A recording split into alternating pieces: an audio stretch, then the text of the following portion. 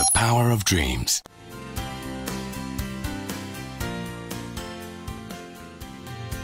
The auto high beam headlights automatically switch the headlights to low beam when driving at night or on dark streets, such as tunnels, and preceding vehicles or oncoming vehicles are detected.